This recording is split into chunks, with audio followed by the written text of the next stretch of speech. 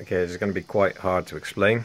Um, you can currently see Moss on my screen.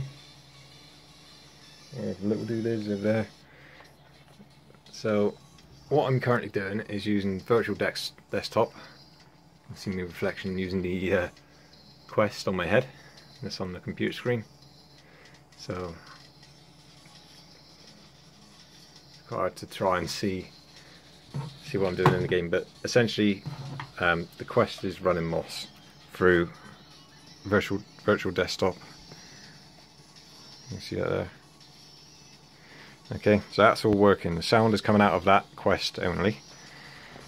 And Oculus is using Beat Saber.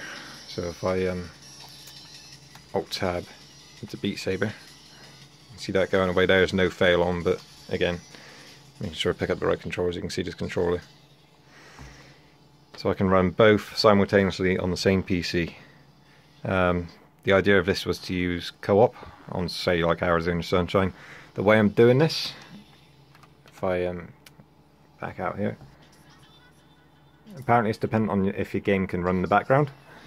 I haven't tested them all yet, but this seems to be working. So let's chuck my glasses on.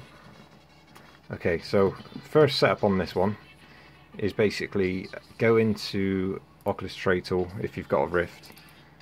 I don't know if this works with other headsets and all the rest of it, but I had to stop the services from running. So I click stop, make sure Oculus app was closed, and then it was a case of uh, changing the Steam VR settings. So before you before you go in, basically I've changed the uh, where are we here? Steam VR, sorry. Okay. So if you haven't already set all this up, get the Quest working with Virtual Desktop. That will just save me a lot of explaining. Once that's working, then you can start messing around with the two together.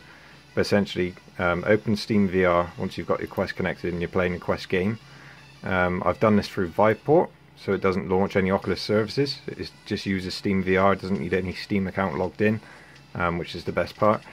So basically, I've just launched Moss. It started straight up in the Quest, all good.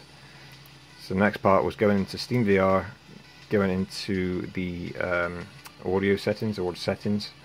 I've just changed the playback device to uh, Steam Stream speakers. Because first time I set this up it was duplicating the Windows and Beat Saber sound out of the Quest at the same time as Moss and it's a bit confusing.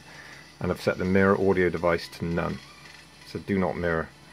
Right that is pretty much the basics on that one um, next thing was, as long as you've started your Quest game first and using the Steam VR, in essence just click play on Moss, that's Moss fired up, Alt Tab out, um, I've not windowed it or anything, it just it's all still full screen, still mess around with the Quest. So Alt Tab out, try get to the, uh, the desktop if you can.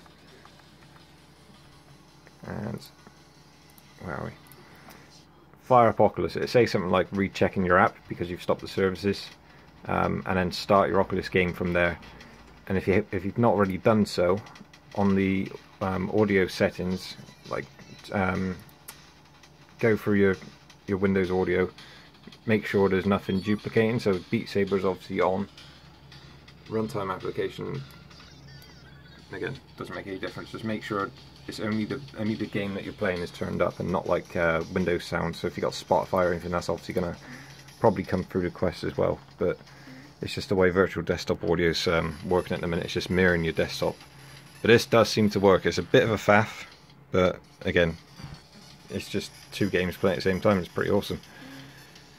So there's Beat Saber, one person playing Beat Saber, and gone past it. And next person playing Moss.